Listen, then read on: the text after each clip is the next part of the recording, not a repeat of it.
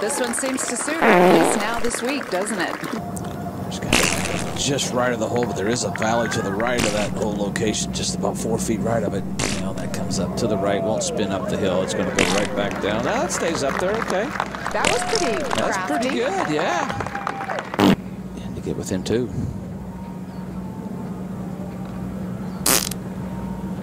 Does she? Yes. What a special week. Could have something brewing here. 93 yards, just a lob wedge. And it was interesting when I used to play with Laura, she didn't even used to carry a three wood.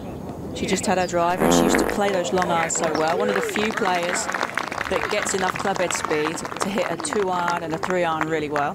Just to get to minus 15. All right. Got an errant drive, got away with it. Hit a nice second shot. Two putt. Easy.